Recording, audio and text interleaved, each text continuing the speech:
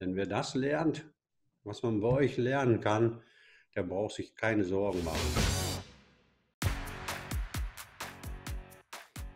Ja, hi, ich bin Roland. Äh, ich habe ein Geschäft und das Geschäft beschäftigt sich damit, in der Sozialwirtschaft Menschen zu helfen, Menschen dabei zu helfen, das wieder tun zu können, was sie eigentlich möchten, nämlich sich um andere Menschen zu kümmern anstatt sich mal mit Verwaltungskram den ganzen Tag beschäftigen zu müssen. Ja, unsere Kunden, das sind äh, Altenpflegeheime, das sind Jugendhilfeeinrichtungen, Behindertenhilfeeinrichtungen, Kindertagesstätten, Kindergärten.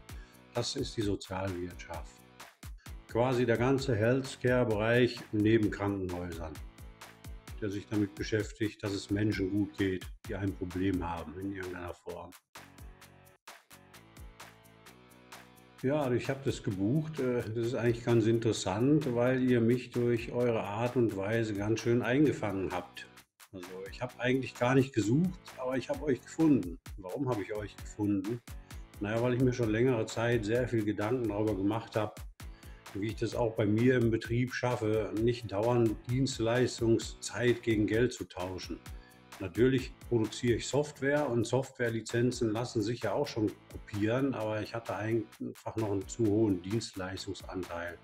Und ich habe immer sehr viele Probleme dabei gehabt, äh, ja, neue Leads zu bekommen, qualitative Leads. Ich habe also vorher ganz schön viel Geld verbrannt bei Facebook, weil ich habe natürlich so angefangen, als ich den Betrieb gekauft habe vor drei Jahren, da habe ich äh, ICSys gekauft, so heißt die Firma ähm, da habe ich so angefangen, wie es wahrscheinlich jeder getan hat. Also ich habe gehört, okay, es soll total cool sein, auf Facebook mal eine Werbung zu schalten und zu sagen, hey, hier bin ich, ich habe ein geiles Produkt, jetzt kauft doch mal bitte alle bei mir. Aber das ist natürlich nicht ganz so gelaufen. Und als ich euch dann kennenlernte über eine eurer Anzeigen, die ich aber gar nicht als Anzeige erkannt habe, weil ihr nämlich was gemacht habt, was kein anderer gemacht habt. Ihr habt Content geliefert. Also ihr habt eine Geschichte geliefert dazu und ihr habt das damit gemacht mit Social Media, was man normalerweise tut, wenn man seine Freunde bedient, nämlich darüber zu berichten, was man so tut und was man so macht und wie es am besten gehen kann. Ihr habt also nicht gesagt, hey, wir sind die coolsten der Welt, wir haben hier unseren Business-Bilder, bitte kauf den, sondern ihr habt gesagt, Mensch, möchtest du damit habe ich mich angesprochen gefühlt, nicht irgendwie auch hinkriegen, dass du nicht dauernd Zeit gegen Geld tauscht und äh, können wir dir nicht dabei oder wir helfen euch dabei und können euch auf eine bestimmte Art und Weise zeigen, wie es eben heute doch noch funktionieren kann. Ja, mit Online-Geschäft Geld zu machen. Und äh, dabei habe ich halt wirklich eine ganze Menge gelernt und bin so zum Business Builder gekommen, der damals noch PTC hieß. Ja, also bin schon länger dabei also Performance Traffic Coaching. Aber ich glaube, ihr habt dann irgendwann selber erkannt, äh, dass es mit Traffic Coaching nichts mehr zu tun hat, sondern dass ihr Menschen dabei helft, Geschäfte richtig aufzubauen. Ja, also ich habe angefangen mit 2,2 Millionen tatsächlich und bin jetzt bei 2,5, konnte also äh, doch permanent auch schon das zweite Jahr jetzt wirklich eine Steigerung feststellen.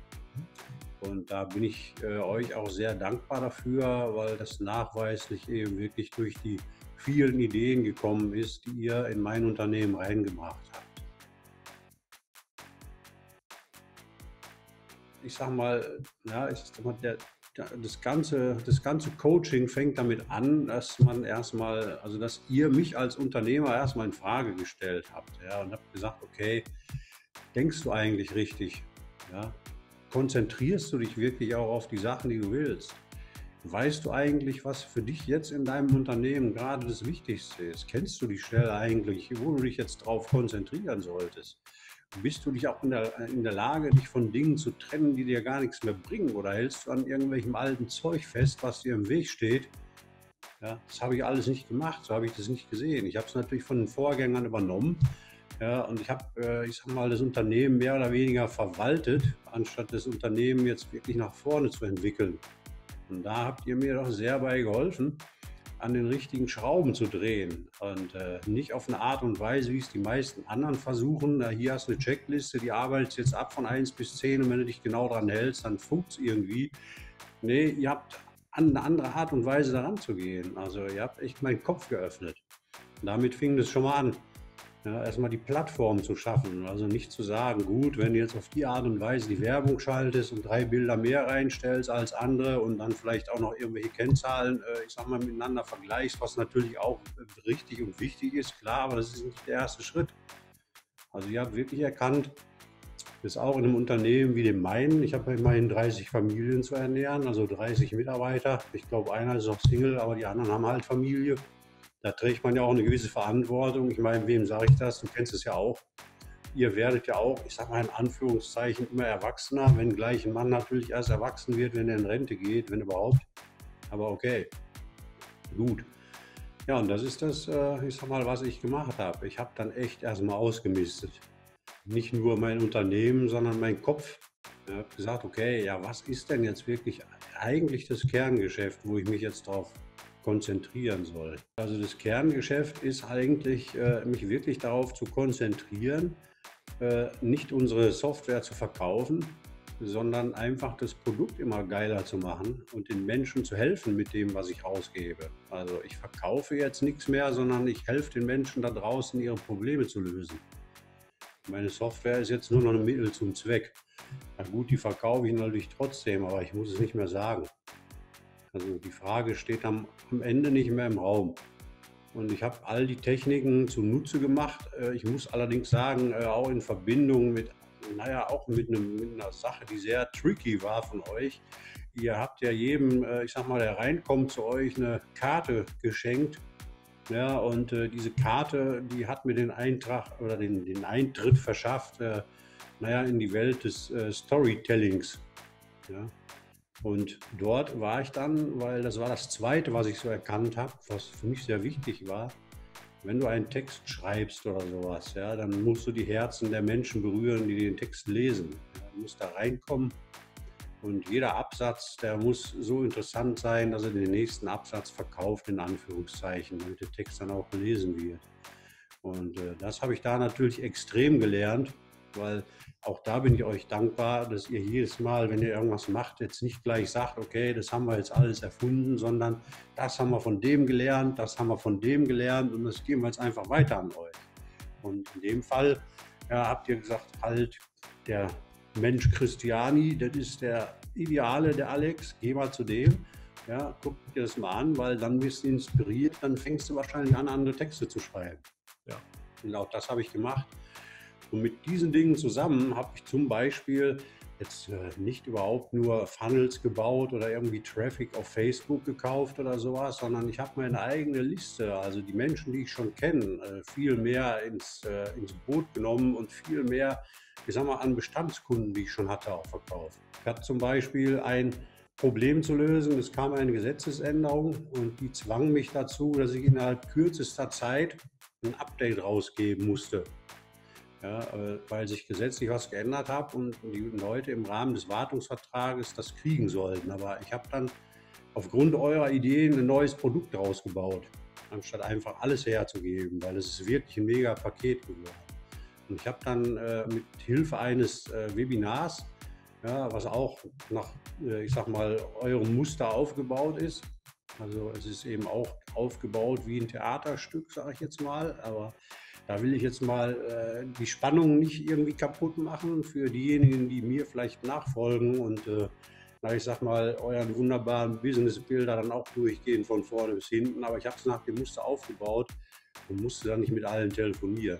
Also ich konnte wirklich, äh, ich sag mal, an mehr als äh, ich sag mal, 250 Leute oder so gleichzeitig dieses neue Modul verkaufen, was dann immerhin 2000 Euro pro Stück gekostet hat. Und da kann man sich auch ausrechnen, was da mal eben rauskommt. Ne? Also früher hätte ich am Telefon gesessen, hätte mich wochenlang damit beschäftigt. Jetzt äh, da bin ich am kürzesten Weg dahin gekommen. Dank eurer Hilfe und Möglichkeiten, vieles schnell zu machen. Also was ich auch gelernt habe bei euch ist, ja, es kommt nicht wirklich darauf an, jetzt irgendwie den besten Webdesigner zu haben, sondern einfach zu machen, ins Handeln zu kommen, zu sagen, okay, ich beschäftige mich mal selber damit und auch als Unternehmer muss ich bestimmte Dinge einfach selber machen. Die müssen nicht besonders toll aussehen, aber die müssen halt die Ansprache finden und den Weg ins Herz derjenigen, die es benutzen müssen am Ende. Ja, also ich glaube, Ja, was heißt, ich glaube, ich weiß, wir haben dadurch bei uns in der Firma intern die Kultur auch geändert. Also viele der Dinge, die sind jetzt bei allen Mitarbeitern angekommen. Ich nehme immer mehr ins Boot. Also ich mache zum Beispiel äh, in der übernächsten Woche bei uns intern einen Kurs und bringe dann auch vielen anderen bei, wie man halt Online-Kurse und Videos produziert, äh, wie man die möglichst schnell schneidet und so weiter wie man die reinstellt, damit ich das eben immer mehr mache, also damit der Automatisierungsgrad immer weiter steigt. Also ich habe jetzt zum Beispiel, bei uns war früher immer gang und gäbe, dass ich, äh, ja, ich sag mal, die Menschen rausgeschickt habe, meine Mitarbeiter, die Consultants, die haben dann draußen Schulungen gemacht, haben die dann abgerechnet und fertig. Ja, und jetzt äh, war ich bestens durch euch auf die Corona-Zeit vorbereitet und habe sowieso, bevor Corona kam, dann mal mit diesem neuen Modul auch gleichzeitig eine Online-Schulungsserie verkauft. Und äh, kein Mensch wollte mehr, dass ein Dienstleister rauskommt und irgendwas macht, weil die konnten das halt dann anschauen, wenn sie gerade Zeit haben. Ich habe schöne kleine 15-minütige Videos gemacht habe hinterher mit der Membado-Plattform noch ein paar Tests daran gehängt. Ja, habe es dann so automatisiert, dass wenn Sie die Tests alle bestehen, also zu 80 Prozent alles richtig ankreuzen und so weiter, am Ende automatisch ein Zertifikat rauskommt. Ja, und dann haben die mich hinterher angerufen, Pflegedienstleitung und so, haben gesagt, Mensch, Herr Wien oder Roland, je nachdem, wie ich mit denen bin, äh, das brauchen wir jetzt eigentlich überall. Nicht nur für das neue Modul, das brauchen wir für alles, weil das ist ein total geiles Onboarding-Konzept. Immer wenn jetzt ein neuer Mitarbeiter kommt, will ich dem so einen Kurs kaufen können. Dann muss keiner kommen und wenn er mir das Zertifikat bringt und ich halte das in den und der zeigt mir das, dann weiß ich, der kann es. Das will ich. Genau. Ja, und solche coolen Dinge passieren dann. Also ich sag mal, ihr seid für mich eigentlich die, die das Denken anstoßen die einen dahin bringen, dass man eine gewisse Art und Weise zu denken entwickelt, die für sich ausbaut, das adaptiert auf seinen eigenen Case und dann funktioniert es.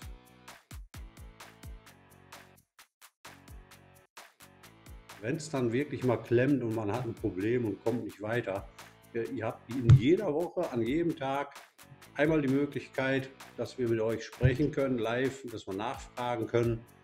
Ja, Im Business Builder ist es normal halt. Ja, also dass man sich kennt auch. Also das ist nicht irgendwie anonym oder so, ja. Dass da irgendein, äh, keine Ahnung, ich will ja keine Namen nennen, da ist halt sowas nicht so. Ja? Da kaufst du irgendwas und dann guckst du dir das an, aber da ist kein Mensch, mit dem du reden kannst oder so. Und wenn du das mal willst, dann, äh, ja, dann musst du das finanziell erstmal aufbringen, was der dafür haben will. Aber bei euch ist es normal. Mit euch kann man arbeiten. Das fühlt sich irgendwie an wie so eine große Familie. Na, ich würde sagen, jeder Unternehmer äh, sollte sich eigentlich, wenn er das Wissen hat, was ich durch euch mittlerweile erlangt habe, der sollte sich darüber freuen, dass Corona jetzt gekommen ist, weil wenn der jetzt alles richtig macht, dann haben seine Mitbewerber keine Chance mehr. Wenn wer das lernt, was man bei euch lernen kann, der braucht sich keine Sorgen machen. Der erreicht über alle Kanäle jederzeit seine Kunden und kann denen weiterhelfen. Fast egal, was der tut. Äh, sogar, also ich habe sogar einen Freund, einen Handwerker erlebt, ja, also der nicht zu jedem Kunden gehen konnte. Ja, der hat tatsächlich Videos gedreht und hat den Leuten erklärt, wie sie kleine Dinge selber machen können. Ja, hat die dann weit nach vorne gebracht. An, am Ende haben sie ihn dann natürlich doch gerufen, aber man kannte sich dann schon und so. Also echt eine geile Verkaufsmethode. Manche haben sich bedankt und kaufen den dann ein, wenn sie wirklich ein Projekt haben oder sowas. Also eine bessere Chance hast du eigentlich gar nicht als im Moment dich von der Konkurrenz abzusetzen. Also jeder ist auch irgendwie gerüstet jetzt. Ja? Du kriegst viel leichter Zugang zu den ganzen Menschen als vorher, weil da ist ja überall, auch da, selbst bei den letzten Menschen, die sich dem noch verweigert haben, da ist jetzt eine Zwangsdigitalisierung passiert. Ja? Jetzt kommen wir viel besser überall rein als vorher. Ich glaube, dass auch durch euch bei uns so die wissenschaftliche Methode Einzug erhalten hat und das Durchhaltevermögen anders ist. Ja, viele Menschen glauben ja immer, dass alles beim ersten Mal funktioniert. Und das ist so ein Teil, der bei uns jetzt in der Kultur auch verankert ist. Äh, dass eigentlich das anfängliche Scheitern dazugehört. Wenn ich mal euer Beispiel mit dem wunderbaren Herrn Edison nehmen darf, ich glaube, der hat 992 Mal oder so Glühbirnen gebaut und erst die letzte funktionierte. Ja, und äh, naja, und als sie dann funktioniert hat, brauchte der sich keine Sorgen mehr machen in seinem Leben. Ne? Also es ist, es ist kein Kindergarten, also so ein Unternehmen ist kein Ponyhof, aber wenn man auf euch hört, dann kann ich sagen, dann tut sich definitiv was. Ja. Es tut sich nicht nur was im Geschäft, sondern es tut auch was mit den Menschen. Also ja, ihr seid eigentlich für mich so eine Art Caretaker. Ja, ihr kümmert euch mehr um die Menschen ja, in den Unternehmen äh, als um alles andere. Natürlich äh, gibt ihr auch die Tipps und kümmert euch irgendwie um die Technik und so, wenn einer einen Rat braucht, aber ich glaube, das wird Gott sei Dank immer mehr zur Nebensache. Und äh, auch was Traffic angeht oder so. Ja, früher hast du dann, oh, ich habe den Traffic-Tipp Nummer eins, du musst jetzt Werbung da so und so schalten, dann machst du das schnelle Geld. Ja, völliger Bullshit. Also bei euch lernt man eigentlich, wie man auch zurechtkommt, wenn Facebook seinen Algorithmus ändert und was anderes passiert. Ja, dann bist du mit euch immer noch am Ball, weil die Methoden, die ihr vermittelt, die funktionieren dann trotzdem.